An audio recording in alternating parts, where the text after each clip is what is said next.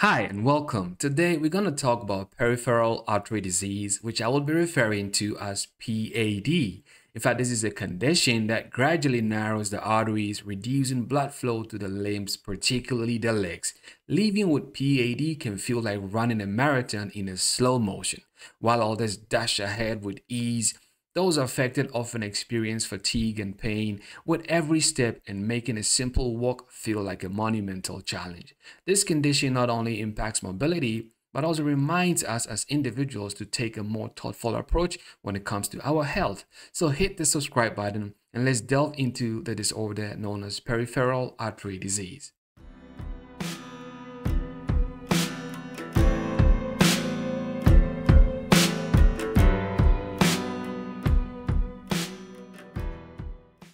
Alright, so peripheral artery disease is a condition marked by diminished blood flow through the arteries that supply to the extremities, particularly the legs, and this results in pain and discomfort during physical activity or even at rest.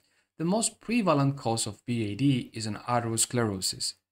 And this disorder is also characterized by the buildup of plaques within the walls of larger and medium caliber arteries, which includes the aorta iliac, the common iliac, external iliac, femoral, specifically I want to mention the superficial femoral artery and the popliteal arteries may also be involved. Further, there is also the anterior and the posterior tibial arteries as well. All right, so eventually this leads to narrowing of the vessel and stiffness around the vessels and the artery becomes incapable of constricting and dilating to regulate, you know, blood pressure and this ultimately leads to a limiting blood flow. Additionally, other significant contributors to PAD can include an emboli, as you can see right there. And here, uh, it may originate from the cardiac chamber or from a ruptured uh, atherosclerotic plaque, which obstructs the arteries, particularly at the sites where the arteries branches. Moreover, factors such as arterial injuries, inflammations, okay, uh, structural anomalies and tumor lysis uh, may also lead to narrowing and impede adequate blood circulation. So the question is why that intermittent claudication? So we have an illustration of an artery that is affected right here with atherosclerosis. And I want to emphasize that if 75% or more of the cross-sectional area of the artery is compromised, this is about 50% of the diameter then this will significantly impede blood flow across the narrowed segment. Okay, now as the disease progresses, collateral circulation also develops. So as you can see, these are collaterals. What is the purpose? Well, they develop and they provide alternative pathways for blood to reach the distal extremities, which helps preserve perfusion and can alleviate symptoms. In other words, making the patient even asymptomatic. So the development of collateral is an important factor that can actually determine the cause of PAD. Now, doing physical activities, as this lady right here is doing, for example, exercise or any other activities, there is an increased demand for oxygen-rich blood, which often exceeds the supply. So the demand in blood flow as a result of the activity is not met by the collaterals, even if the collaterals are operating at the maximum flow the collaterals are not able to deliver as much as blood would have gone through the area that was or the area that is blocked. Okay, so this disparity can result in a temporary ischemia manifesting as pain, cramps, or fatigue in the muscles, prompting patients to slow down and allow time for adequate blood supply to catch up, thereby alleviating the discomfort until blood flow stabilizes. So this leads to the classic uh, intermittent claudication. It's important that I mention that that symptom is only found in 10% of the cases. In fact, about 40% of patients with PAD may come without symptoms.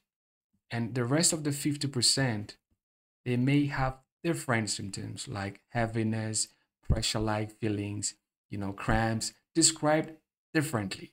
Okay, so the fact that there is no symptoms does not exclude a peripheral artery disease. Now, regarding the clinical manifestations, PAD may sometimes present with the classic intermittent claudication, a condition that is marked by cramping pain, fatigue, or a sensation of pressure in the legs or buttocks during physical activity, which is determined by the location of the occluded artery. So, for instance, Patients with femoral popliteal PAD may experience calf pain, while those with iliac artery occlusion may feel a discomfort in the thigh and buttocks, which requires them to slow down until the symptoms subside. In more severe cases, PAD can also lead to pain at rest and a burning sensation, particularly at night, leaving some patients to leave their legs hanging low or dangling. Moreover, PAD also serves as an indicator of systemic atherosclerosis, potentially leading to erectile dysfunction and an increased cardiovascular risk. There may also be wounds and gangrenes observed. Now, recognizing acute limb ischemia is crucial to preventing limb loss, and the key signs include the six P's pain, pallor, pulselessness, paresthesia, perishingly cold, and paralysis. In the evaluation of PAD, it is essential to meticulously assess modifiable risk factors that may contribute to the condition, such as hypertension, smoking, diabetes, dyslipidemia.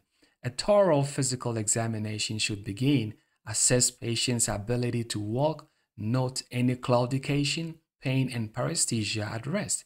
Delicately assessing the pulses is crucial, along with a visual inspection of the extremities for signs of pallor, cyanosis, wounds, or the alarming presence of a gangrene.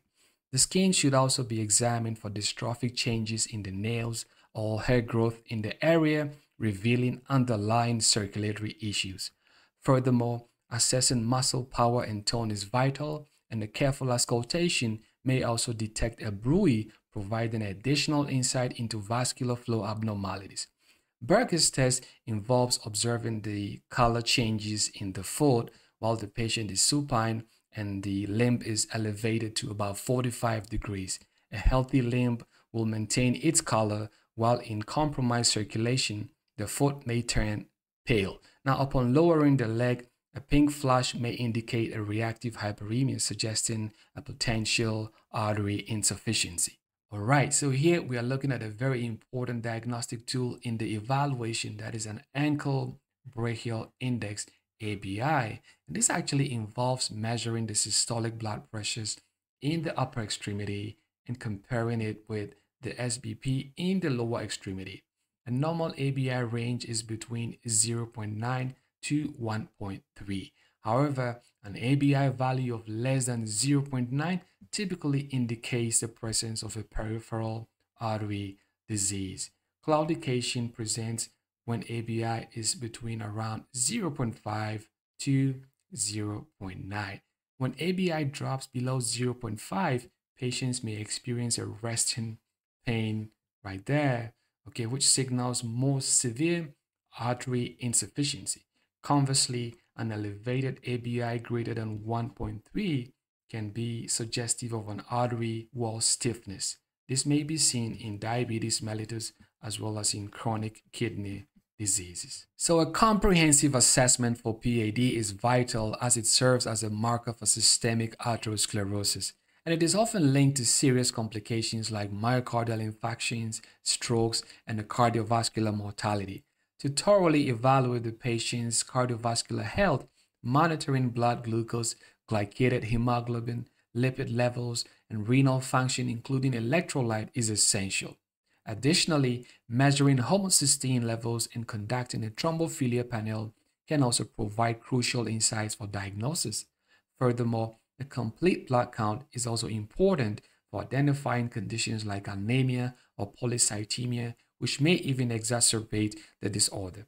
Imaging modalities play a crucial role in the management of PAD by precisely identifying the site of arterial occlusion, which facilitates informed decision making regarding potential surgical interventions. Techniques such as ultrasounds, that is Doppler, a CT angiography, MR angiography, arteriography, are all very instrumental in visualizing the level of the occlusion. All right, so in managing PAD, it is crucial to thoroughly address and educate patients about all potential risk factors associated with the condition. Emphasis should also be placed on improving ambulation right there, okay, through supervised exercise programs, which may involve exercising to the point of pain, as this can significantly enhance mobility. The Choosing Wisely campaign underscores that surgical interventions such as bypass surgery or angioplasty should not be the first line approach for most individuals with intermittent claudication. Now, initially, pharmacological options may be explored, including cilostazol, which is a phosphodiesterase inhibitor. Okay, it has an antiplatelet as well as a vasodilatory property, and it may alleviate symptoms. In fact, it must be used with caution if the patient has heart failure. Depending on the patient's overall risk profile, and existing cardiovascular conditions, additional agents such as aspirin, clopidogrel, and ticagrelor, antihypertensives such as ACE inhibitors and ARBs, and even statins may also be considered integral to a comprehensive management therapy. Now, when patients do not respond adequately to guideline directed conservative therapies, including exercise and lifestyle modifications, it becomes essential to consider revascularization options for cases involving a single arterial segment angioplasty with or without stent may be pursued to restore blood flow. In instances of more extensive atherosclerotic disease, a bypass graft surgery can offer a viable solution, while endarterectomy may also be appropriate for certain patients. In acute limb ischemia caused by an emboli, embolectomy is recognized as a standard treatment approach. However, in the unfortunate circumstances where all restorative measures fail to salvage the affected limb, amputation may be regrettably be a necessary uh, option for the patient's overall health and well-being. Thank you, and I hope this was useful. If you enjoyed it, then hit the like button and subscribe to the channel. Bye.